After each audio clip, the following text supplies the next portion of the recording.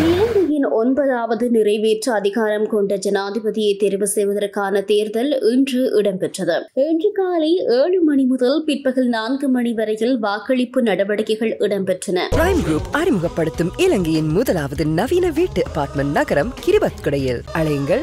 சைபர் ஏழு சைபர் இரண்டு சைபர் நான்கு ஒன்று சைபர் நான்கு ஒன்று. இதன்போது வாக்காளர்கள் தமது வாக்கை மிகவும் ஆர்வமாக அளித்து வந்தமையை அவதானிக்க முடிந்தது. அந்த வகையில் நடைபெற்ற ஜனாதிபதி தேர்தலில் முக்கிய வேட்பாளர்கள் அனைவரும் இன்று முற்பகல் வேளைகளிலேயே தமது வாக்குகளை அளித்திருந்தனர். அதன்படி சுயேட்சை ஜனாதிபதி வேட்பாளர் ரணில் விக்ரமசிங்க மற்றும் பேராசிரியர் மைத்ரி விக்ரமசிங்க ஆகியோர் இன்று காலை கொழும்பு பல்கலைக்கழக கல்லூரியில் வாக்களிப்பு நிலையத்திற்கு சென்று வாக்களித்தனர்.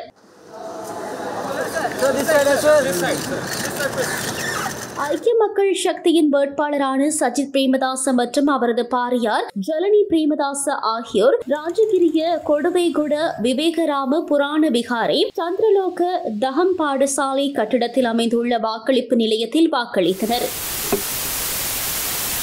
தேசிய மக்கள் சக்தியின் ஜனாதிபதி வேட்பாளர் திரு அனுரகுமார திசாநாயக்க இன்று காலை பஞ்சிகாவத்தை சைகோஜி பாலர் பாடசாலையில் தனது வாக்களிப்பை மேற்கொண்டார்.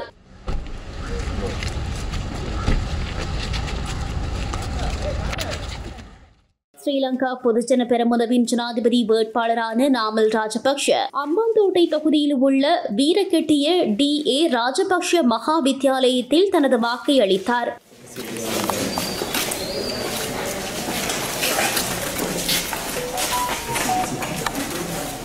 පතිරුන්නහැලාගේ ලිමිනි මනෝජා වීරසිංහ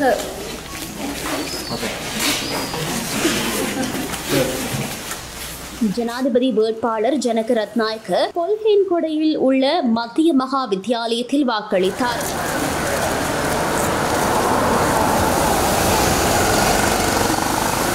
மேலும் தேசிய ஜனநாயக முன்னணியின் ஜனாதிபதி வேட்பாளர் கலாநிதி விஜயதாஸ் ராஜபக்ஷ இன்று காலை நாவல விக்ரமசிங்கராம விகாரையில் தனது வாக்கை அளித்தார். இதேவேளை ஏனைய ஜனாதிபதி வேட்பாளர்களும் பாராளுமன்ற உறுப்பினர்களும் மற்றும் பொதுமக்களும் தமக்குரிய வாக்களிப்பு நிலையங்களில் தமது வாக்குகளை அமைதியான முறையில் அளித்தனர். இதேவேளை வாக்களிப்பு நடவடிக்கைகளை தொடர்ந்து வாக்குப்பெட்டிகள் வாக்குகளை எண்ணும் நிலையங்களுக்கு கொண்டு செல்லப்பட்டன.